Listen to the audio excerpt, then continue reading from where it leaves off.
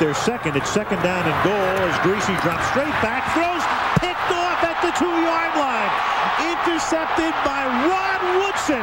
And Woodson is into Bronco territory. And Rod Woodson can he be chased down by Smith? Not until he scores.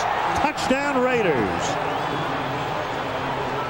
There is an example of a big player making a big time play in a big game. You talk about something that'll change a game and a great veteran player, that's Rod Woodson. They're on the four yard line. The Broncos are going in. And instead of getting a touchdown, Rod Woodson jumps right in front of Clinton Portis and he takes off. You think Rod Woodson can't run anymore? He's going to take it all the way. that was a heck of a play. And that, and that was what that's what the Raiders needed. I mean, if they were going to win this game, if they're going to be in it, if they're going to get out of the hole, they need plays like that. It's the 12th time he's run an interception back for a touchdown. It's his 65th career pick.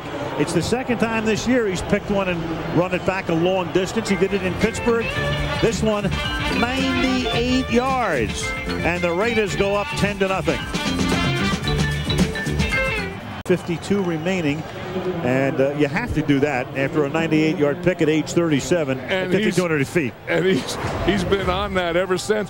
But here's Rod Woodson right here. Now he's playing a position they call robber. He's just going to come up and sit right here and pick off any crossing patterns and read the quarterback. Now watch what he does. You see him come up? He's just going to sit right there in the middle, look for crosses.